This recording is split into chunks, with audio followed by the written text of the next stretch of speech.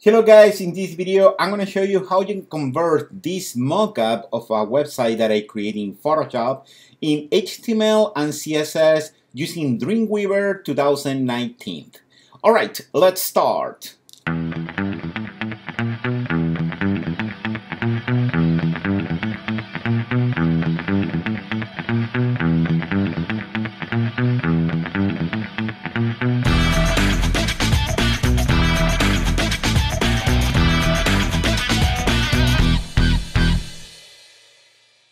Okay guys, I create this wireframe using Photoshop. If you want to know how I did that, you can visit a video in this channel. I'm gonna put on the comment below the link. And also then I convert that wireframe on a mockup and I record another video that I'm going to put on the comment below with different tips and tricks about how you can import images, how you can work with text and the layout. Alright, but now the idea is to convert all these things in HTML and CSS. Alright, I'm gonna hide Photoshop one second and this is Dreamweaver. I'm gonna hide Dreamweaver as well because I would like to show you the material first. Okay, here I have my wireframe and I have the mockup. I'm gonna put in the comment below if you want to download these files.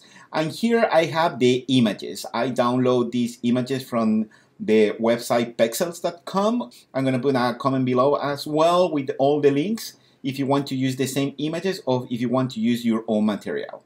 All right, the thing is if you want to create a website, the first step that you have to do, you have to create a folder on the location that you want to save that website. In this case, I'm going to put the folder on my desktop. A new folder, and I'm going to call this one, for example, Ski Web. Okay. Here, if you see, I put Ski Web and I put a space between these two words. That is, is, is okay, but any element, okay, any folder or document that you will put inside this folder, do not use spaces. You can use, for example, underscore, but no spaces, because you will have problem with the links. All right, what I have to do, I have to put these images inside my root folder. Okay, in that case, I'm gonna change the name and I'm gonna remove the keyword and I'm gonna save this one just as a images and I'm gonna drag and drop this inside my ski web folder. If I open this folder, you can see the only folder that I have here is images. All right, now what I have to do, I'm gonna open Dreamweaver and I have to connect Dreamweaver with that particular folder. How you can do that? First, you have to go to the site menu and select new site. Here, I'm going to name it. I'm going to put, for example, ski web. The name doesn't matter, the name that you put there, but I prefer to name it with the same name of the folder because then if I go to the all the website that I'm doing, okay, I can recognize which name is with which folder. All right, and then um, here I'm gonna select the root folder. You have to browse the folder with this icon. It's a small folder.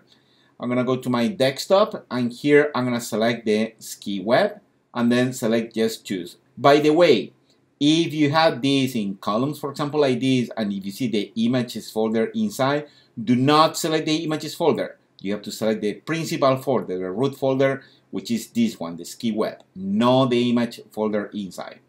Select choose, and then you can see ski web, ski web is there, and now select save. By the way, if you make a mistake, if you want to do any correction, you can go again to the site and instead new site, select manage site. Okay, and here you will see the ski web is there. Just click on this pen to edit and then you can do changes. All right, I'm gonna cancel and done. All right, and look at this. Here on the right, I have the files panel in Dreamweaver. And here I can see the root folder and inside I have the images. If you click here, you can see all the images that you have inside. All right, what is the first step? Okay, what do you need to convert that layout in HTML? First, what we need, we have to create a new document. Okay, select from here, create new. Okay, there are many different parts that you can create new or just go to the file and select new. And here, double check you have new document, HTML, none is selected, and select create. This is the interface of Dreamweaver 2019. If you don't have experience in HTML, I recommend you to watch another video that I have in this channel is how you can work with Dreamweaver with basic HTML, okay? Because now I'm gonna we are going to write code, but if you have no clue, you don't have experience, I recommend to watch that video first. Okay, one thing that I would like to do first, I'm gonna change the layout of my Dreamweaver. Here on the top, you can see the design, and the, on the bottom, you can see the code.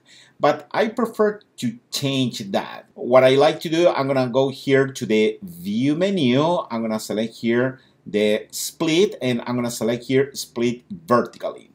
Why I do that? Because I like to see the code on the right and the page on the left. Okay? I'm to explain you why is that. I'm to go to Photoshop. When you design a website, it's pretty common that you will start designing the desktop view because you have in mind, all right, this is the how gonna look the design with this banner, all these elements. But when you code, the good practice, you have to start with the phone view because everything is on just one order, is one element above the other one. You can see this element, all this one is beneath, you have picture text, picture text. You don't have, pretty much you don't have to lay out everything. It's just in one direction. And then if you stretch the website, then you can add exceptions. Okay, for example, you can say if my website is bigger than 500 pixels, I would like to show the images on this way. You can see? That's why first you have to start with the design view okay of the phone and then you will add a section with media queries okay, using css in dreamweaver and we will do that of course.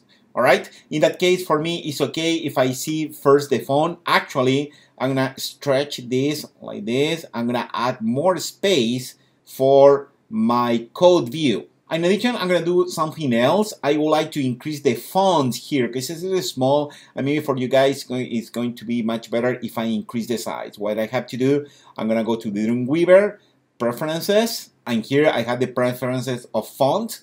And here on the fonts, I have the code view and I'm to increase here to 14 point. By the way, if you want to open the preferences on PC, you will see the preferences here on the edit menu all the way down. On Mac, the preferences are here on the Dreamweaver menu. Okay, I have my HTML. If I click HTML, you can see where the HTML starts and finish. Then I have the head, okay? If you remember, if you know, the head on the head is the information that you don't see, okay? Again, I have a basic HTML tutorial on this channel, all right? And I'm gonna start with the body here I'm gonna put on the line 8, okay, my cursor is blinking there, and I'm gonna hit return. The first element that I would like to build, if I go to Photoshop, is going to be the page wrapper. Is going to be the general container of all my code, okay? In that case, I'm gonna put here a page wrapper if you don't know how to code in Dreamweaver, I'm to start with a few basic things, okay? For example, if you want to put a div, okay, what you have to do is open the angle bracket, you have to type div, okay, and then close, and then you have to open again, and then backslash, automatically Dreamweaver going to finish typing that. All right, and whatever you type here is going to be the, again, here is going to be the content of that div all right and then if you want to add a class okay or id you have to put the mouse there between the v and the end of the angle bracket type space and you can put a class okay and you can put the name of the class for example page hyphen okay wrapper you see that is the correct way to write code okay if you want to add a div. And what you can do with the divs what is the idea? You have to think div is a box. For example if we want to create a container and on that container we want to add a color as a background or an image or for example we want to create a circle uh, that is the idea of the div to add content inside and then you can lay out you can add style using the css but what I would like to show you, and I don't know if you know this, there is one code hint that you can use in order to insert a div, which is pretty cool. The only thing that you have to do is you have to decide if you want a class or an ID. A class pretty much is something that you can use many times, and ID is something that you, generally speaking, you can use just one time. But in this case, I'm gonna insert a class. In that case, just type period, and I'm gonna put here, for example, page hyphen wrapper and then just hit the key tab. If I do that, and then you can see automatically Dreamweaver gonna type for you div class page wrapper and gonna close the div. It's pretty helpful to work like this. It's pretty fast. In that case, you don't have to use any panel in Dreamweaver. You can just write code by hand pretty fast. All right, then just type return, return. With the up arrow, go up, and then type another tab to go inside and to indent the element that we will need inside. By the way, why create this? The div is necessary because this is going to be the box, the general container, the page wrapper of all my elements.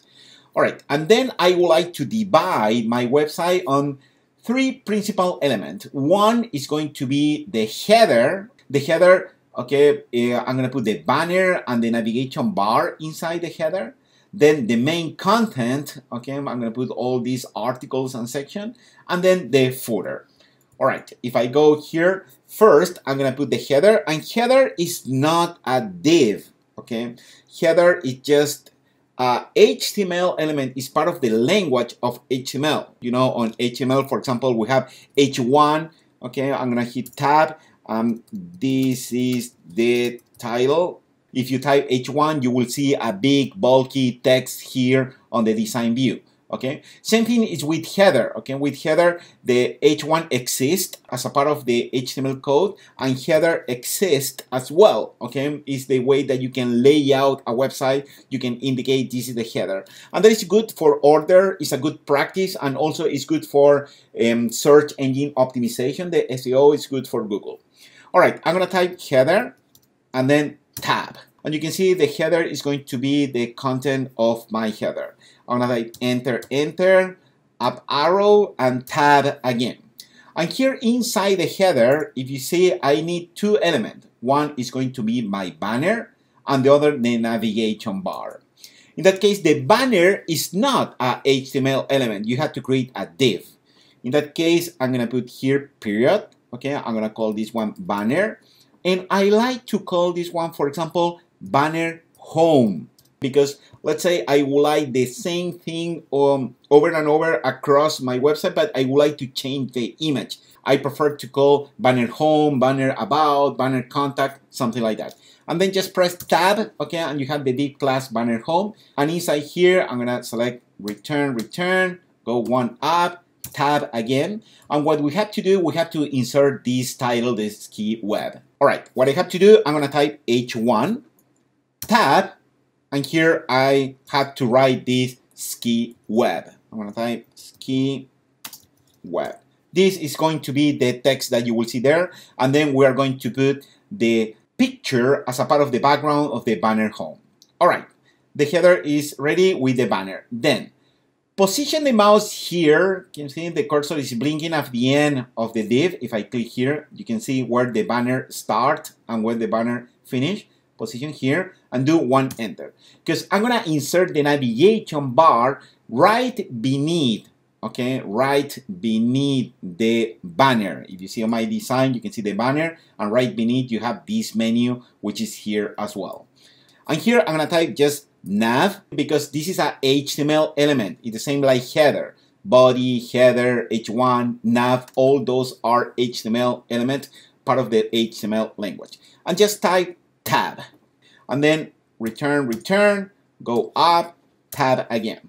And here I am going to insert all the menus that I need. And listen, it's a good practice and it's in standard to use an ordered list people call bullets okay when you use a menu bar instead to put for example div menu or div navigation something like that it's a good practice to use bullets how do you can work with bullets point okay? What you have to do first you have to select an order list. But in this part do not follow me because i'm going to explain you first. I had to put here an ordered list okay? That is a ul i'm going to select tab and then enter enter go up tab and then i have to insert list items.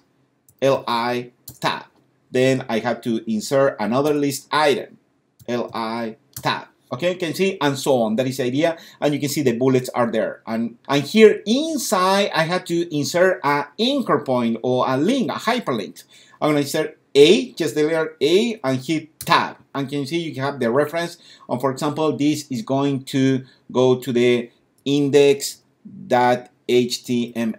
and the text that you will see is going to be, for example, home and you can see the link is there. And then with CSS, we'll convert, we're gonna remove the bullet point, we're gonna change the color, the blue, we're gonna remove the underline, and we will convert this on a menu that gonna looks like my Photoshop file, something like this. You Can see? That is the standard. But this is a lot of code that you have to write, okay? Instead to write like this, I'm gonna show you one trick. First, I'm gonna type UL, because I need one UL, then angle bracket, then list item, and then multiply, use the asterisk for how many menus do you want. In this case, I need five, and then angle bracket again, and then A, which is the anchor. You see, it's pretty cool, and then just hit the key tab. And look at that, automatically you will see the nav inside the UL, inside the LI. You can see, you can see the anchor is there. All right, it's pretty cool. Then I have to write the code here inside the quote. There is another thing in Dreamweaver that is pretty cool that you can create multiple cursors. Look at this. You can see the cursor is blinking inside this quote. What you have to do is hold on the command on Mac or the control on PC and click inside this other, okay, and this other quote, inside the quote here and inside here. You can see, and you have a, that big cursor release the command and I'm gonna type for example index.html and then with the right arrow here in this area I'm gonna type the name of the page that I want to go. But remember it's here it's not on this one. You have to go here inside the A and I'm gonna type for example home. You see it's pretty fast to do that and then the only thing that I have to do I have to start changing name. If I go to my Photoshop I can see is in this menu I have home, about, gallery, videos, and contact. Okay, in that case I'm gonna put here home, about, gallery, videos, and contact. Okay, and here you have to put the real name of the page that you will create. For example, this is going to be the about, okay, with small caps, gallery, video or media or video or videos if you want. And then the last one is going to be contact. Okay, you can see that is the idea. By the way, here, for example, I can put about ski if you want. You can use spaces, but here do not use spaces. Okay, you can use, for example, an underscore, and then you can put, for example, ski, or you can put the like the camel way okay i'm gonna the first letter of the second word is in capital letters like a home okay and then you can put something like that if you want but i'm gonna put just about and then here I'm to put just about as well. Alright, this is the text that you will see here on the left, okay, and this is just the link. Now it's time to save my document. Go to the File menu and select Save. And this document, the name of the home page, the landing page document, is have to be index. Okay, I'm gonna type index there and then just select save. All right, and then if you see here on the right, you have the index page, and here you will see index and then about, gallery, video, and contact all the pages. That is the idea. All right, I finished my header, okay, with all the elements that I need. I'm gonna go back to my Photoshop. I can see here my header, and then on the next part, I need the main content. All right, I'm gonna put my mouse at the end of the word header, type return, and here I'm gonna type main and then tab. And if you see, it's on the same level of header, and then return, return, go up, another tab to put here my first section. What I would like to do here, if you see my design, you can see more here on the desktop view. And this is going to be one section, like a feature images or something like that.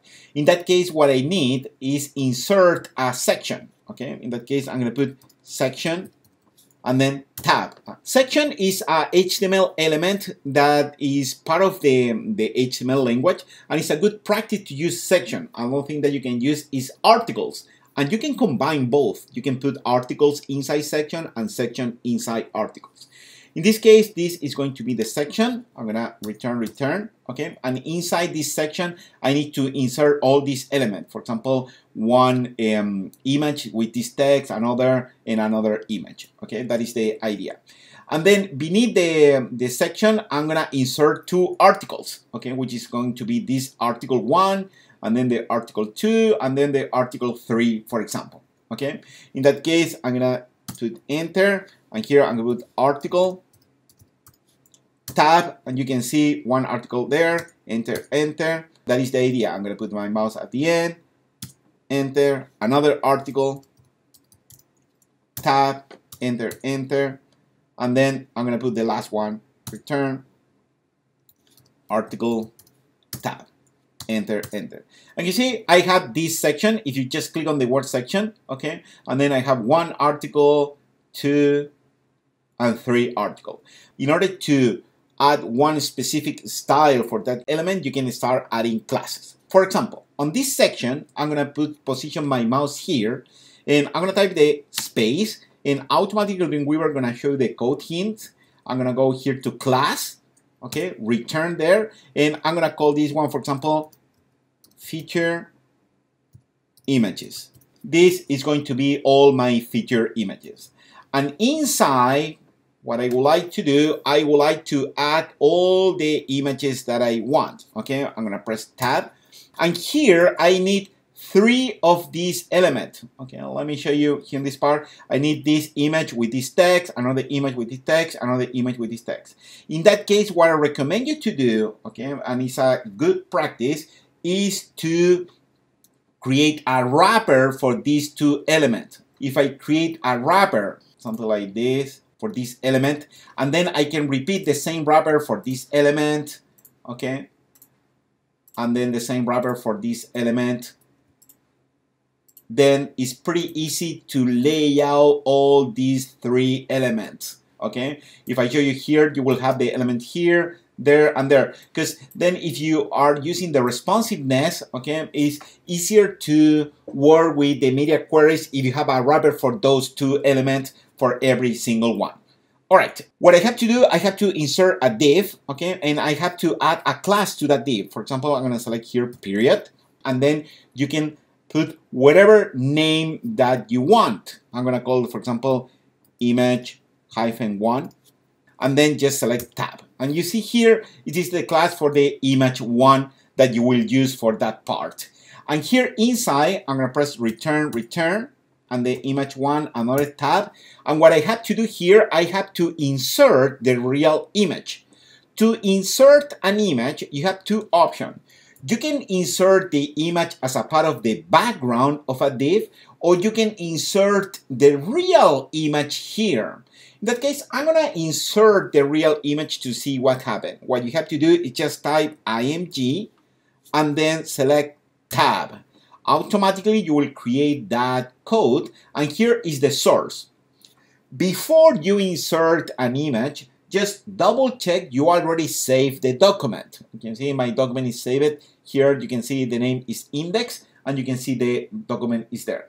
And here what you can do is start typing the name of the folder and the location of that image. You can see it's in the images folder and I would like to use one of these images that I have here.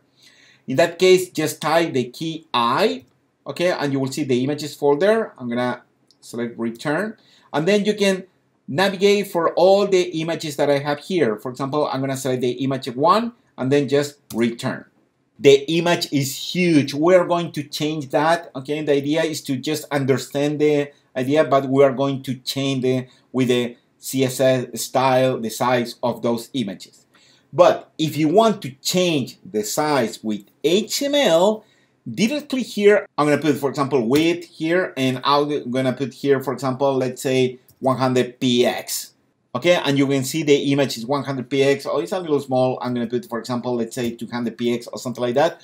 Or in addition, what you can do, you can put percentage. Let's say I'm gonna put here 90%. It's going to cover 90% of the browser width we are going to work with the size of the image with the CSS, not with the HTML, but it's just to show you what you can do.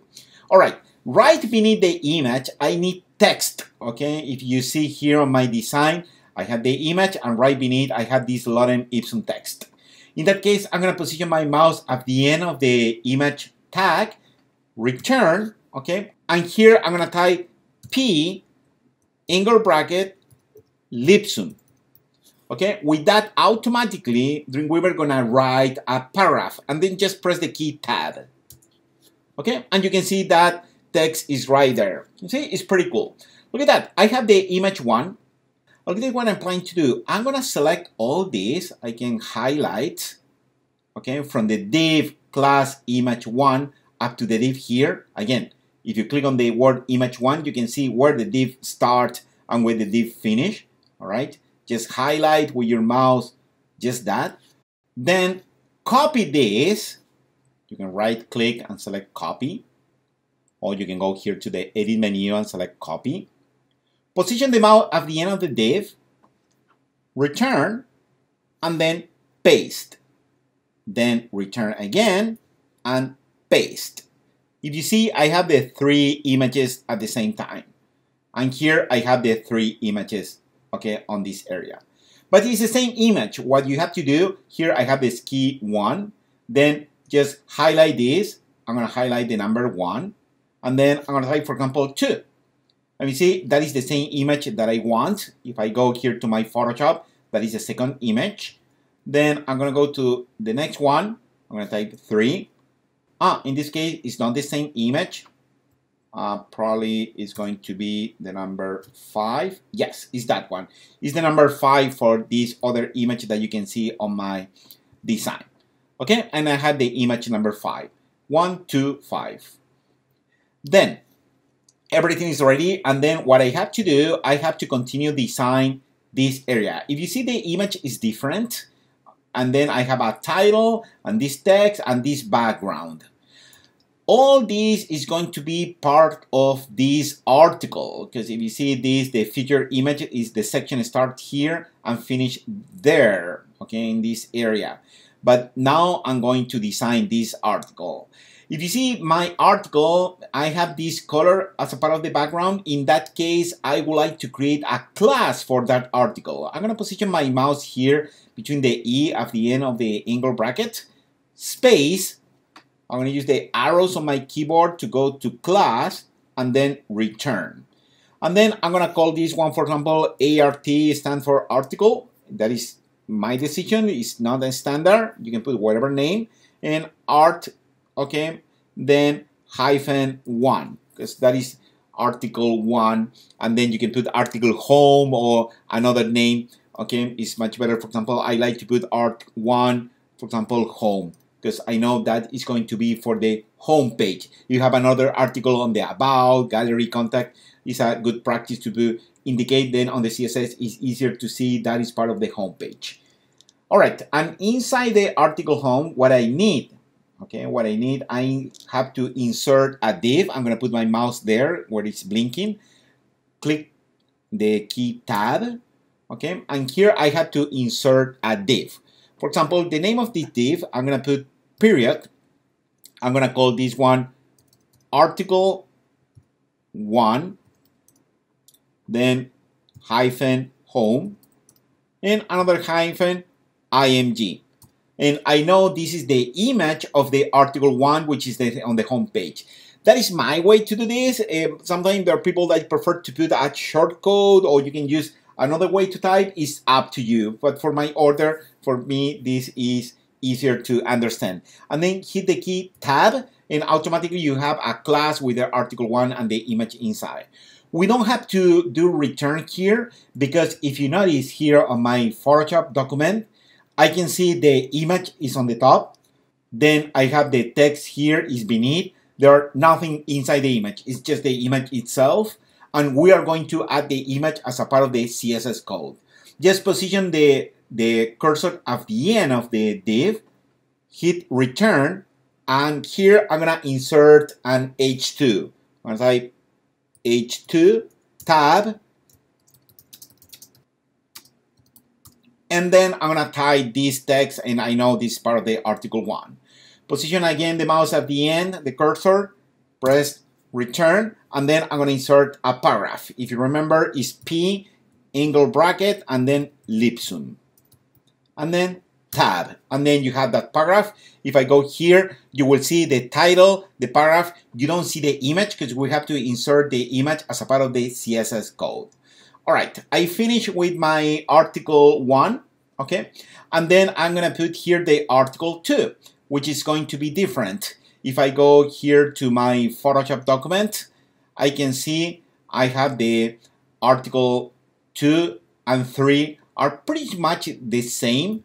In that case, I'm gonna insert here my cursor. I'm gonna type tab, okay? And I'm gonna put a class there, okay? And then I'm gonna put ART.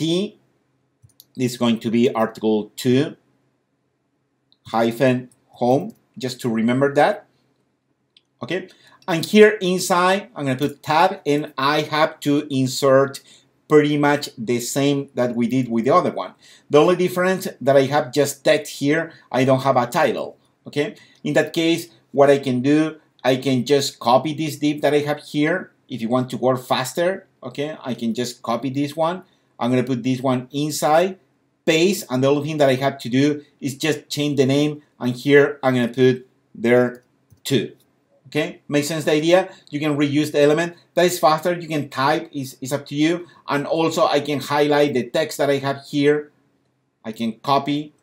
I'm gonna put my mouse at the end of this image, return, and then I can paste.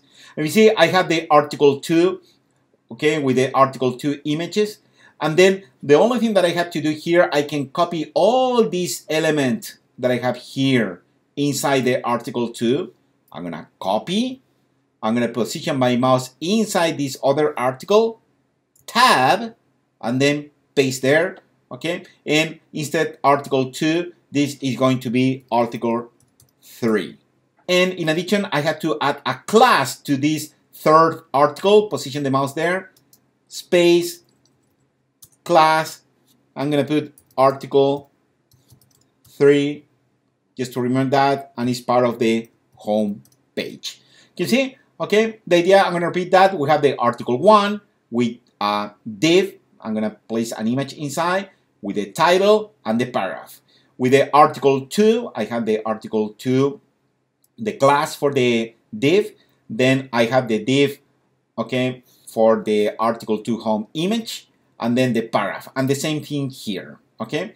That is the thing that you can do. And the last element, I'm gonna position my mouse here at the end of the main, okay? I'm gonna hit return and I'm gonna put here footer and then tab, okay? And here on the footer, I'm gonna put information, I'm gonna just select return, return, go one like this. And for example, you're gonna put the copyright or other element or other information. You see, that is the idea of all the HTML that we need. We're going to add more classes, more IDs, and other elements, but this is just the base, okay? On the following video, I'm gonna show you how you can add design and how you can convert all the things that you have here on HTML and how you can add CSS and then you will see the layout like what you see here in Photoshop. Alright guys? Okay guys, I hope you like this video. See you on the next one. Bye!